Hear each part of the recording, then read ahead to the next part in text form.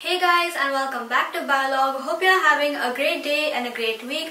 In this video we're going to be looking at everything you need to know to ace the IGCSE paper 6 biology exam coming up in May June 2022. I know it's been a while since I've uploaded but this is everything I've learned in my 2 years of IGCSE that helped me get a 95% in the paper 6 IGCSE biology extended paper. So I hope this video helped you guys too. And if you do like this video, make sure to like, share and subscribe to Biologue. And without further ado, let's begin.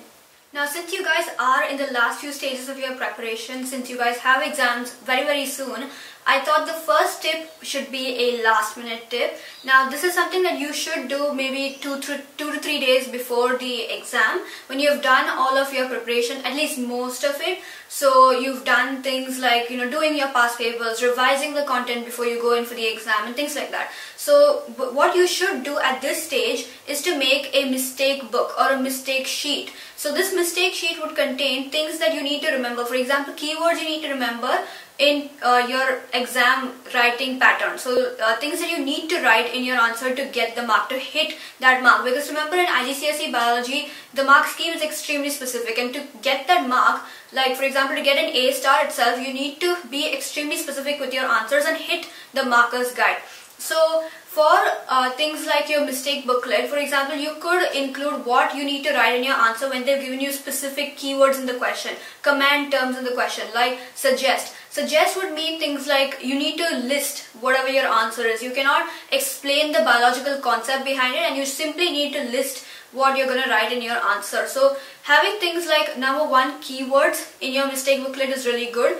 Finding patterns of what stuff you should write in your answer is also really good. For example, in uh, typically in enzyme based questions, you need to include terms like having a complementary shape of the enzyme and that active site of the enzyme, things like that. So those are kind of you know, uh, kind of assumed knowledge that you should know at this stage by now, like things that you should include whenever you see a common pattern of questions coming up in your exam. I would also say consolidate all your resources into one specific place. Like for example, you can consolidate all of your mistakes from your past papers, worksheets, notebook, etc. Everything into this one booklet or one book as such that will have all your mistakes, right? So you can have a question, for example, like suggest an improvement to the design of this experiment and typically these questions, what they will require you to have is like, for example, repeat the experiment multiple times, repeat the experiment at least three times, average the results, things like that. So that's at least that answer is something that commonly comes up. And remember, in the mark scheme, if you usually do past papers regularly, you would have noticed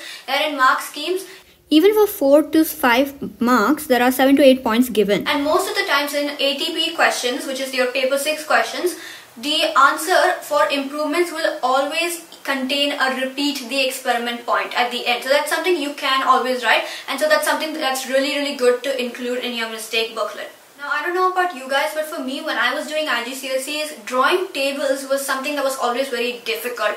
So the trick I came up with to draw tables more easily and make sure I don't waste a lot of time on it in the exam was number one I would do the dependent variable in the actual boxes in the table itself. And the independent variable would be on the left side of the table mostly. So I'll have this type of pattern that would help me kind of structure my table and like make sure I'm not getting stuff wrong. Because typically they like the mark scheme will want you to know like the number of columns or like the number of rows and that has to be really specific. I mean they might accept if you switch around the number of rows and the, uh, the number of columns but it's always better to stick to exactly what they have uh, said or what they're expecting you to do. So the best thing would be to have your independent variable on the left side, dependent variable in the boxes and another thing to remember is that the boxes should not contain the units. That's really important. The boxes in your table itself, like the individual boxes, they should not contain your unit. Only your top column, which is like uh, kind of like a header sort of of your table, the top header and the side header, those are the only two places where you should include units. If you include units in the boxes, in the individual boxes, they can 100% penalize you because this is something that I've learned from my mocks and my teacher had specifically told me to not include the units within the table itself but just on the sides to make sure it, it looked neat and it looked presentable enough. Also remember that tables should only be drawn in pen I know it's contradictory to common assumption, but tables should only be drawn in pen. Pencils should only be used for uh, things like graphs or things like drawings where you actually have to freehand draw it.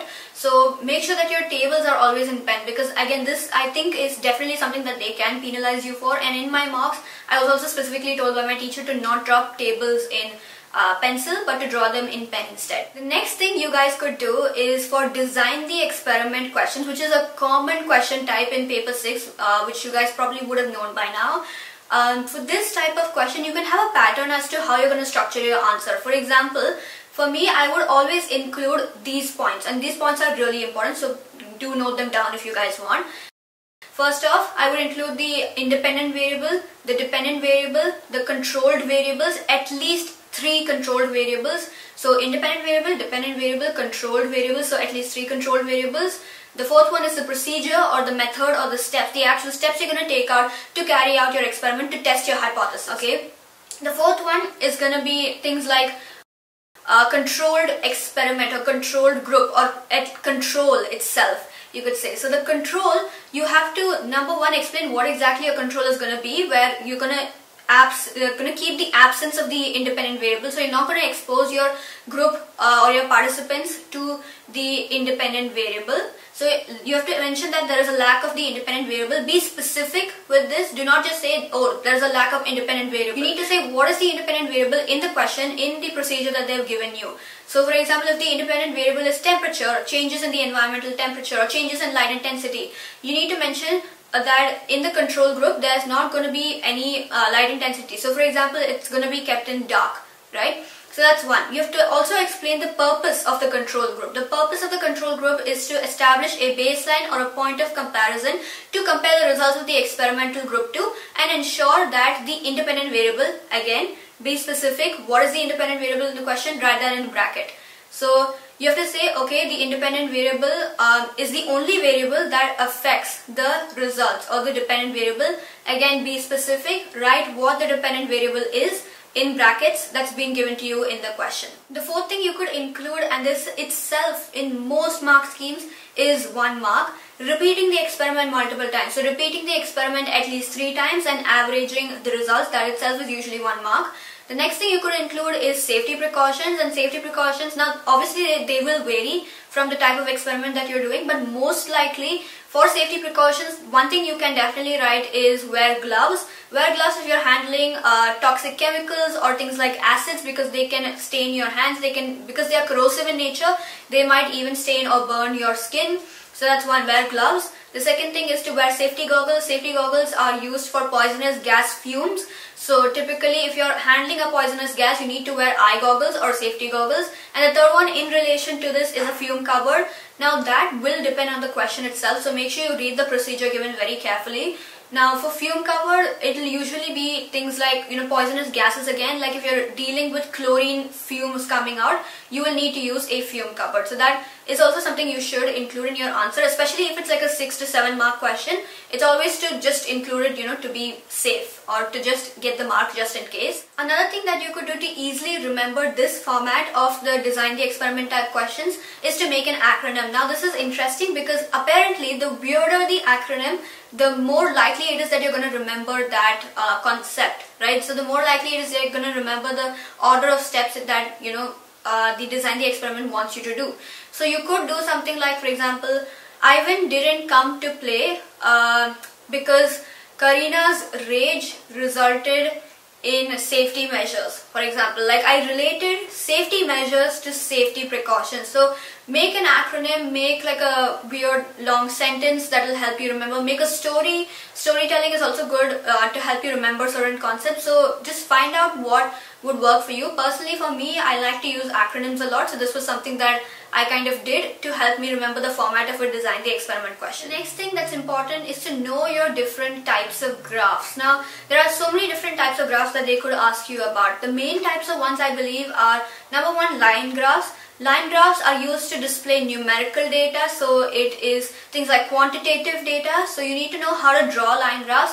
Graphs should always be drawn in pencil, remember. They should be neat and crisp lines. Sharp lines should be used. Typically, if you keep feathering your lines in graphs, they will cut your mark because they want to see a very neat and crisp line or a neat and crisp curve. So that's something that you should remember for line graphs. Uh, in line graphs or scatter plots as well, most of the times like there couldn't be a uh, general trend as such. If you're not able to find a general trend, it's most likely that it's going to be a line of best fit. And remember, line of best fit is not the same as best fit curve.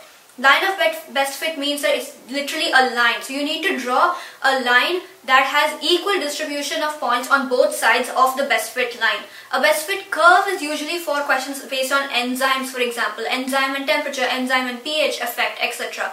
So these types of graphs will have an actual curve because typically when you think best fit, you think of a line, right? But it's not necessary that it has to be a line, it could be a curve as well. So if they specifically say best fit curve as a keyword in the question, that keyword is really important because it means that you have to draw a curve and not a line because if you draw a line, they are going to cut your mark for sure. So keep that in mind.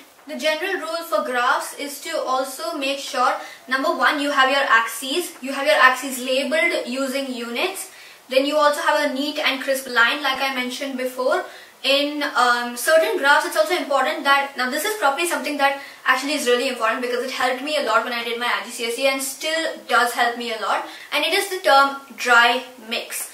Dry mix helps you identify where your independent and dependent variables go on a graph. Dry mix meaning dry, so the dependent variable goes on the y-axis, which is this. So the dependent variable goes on the y-axis and the independent variable goes on the x-axis of the graph. This is how you remember where to put the independent and dependent variables. Now, for typically for like these uh, types of questions, make sure you identify the independent and dependent variable at the start of the question itself. So when you read the procedure, highlight or at least underline and mark which is the independent variable, which is the dependent variable because this is something that people often get confused with. They switch up the independent and dependent variable and so they switch it up on the graph as well and so ultimately like they lose two entire marks out of their five or six mark question.